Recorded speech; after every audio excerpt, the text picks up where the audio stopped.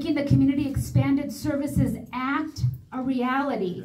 To those contributing to the creation and success of the Kedzie Center, the West Side community, and the rest of the LSAH CAP members, we're getting things done, guys. We too saw that overwhelming support to passing of the referendum, and with that, the promise of a new mental health center in our community. It has been humbling to be part of what I hear from Deacon Greg say, story of triumph. Following the tragic loss of our city centers, we proudly get to replace them with centers fully approved, funded, and overseen by members of our community. Jesse and I, um, small business owners in Avondale, Allstate agency that has been there for almost 30 years. We're committed to our community.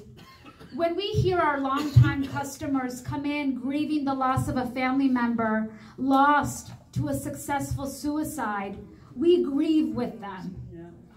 When we hear customers express worry over not knowing if they can stay in their homes, the homes they know, the only home they know because of raising um, cost of living and rent, we worry with them we feel the residual, residual trauma of immigrant families who experience sleepless nights with fear of being deported and having to leave their U.S. born children behind.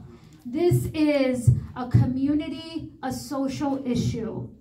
Our communities need access to affordable and quality mental health services it's vital we continue to address the stigma around mental health services and highlight the positive impact mental health services have on creating healthier, happier, and safer communities. This property tax is minimal to the tremendous impact these centers are going to have in our communities and the society at large.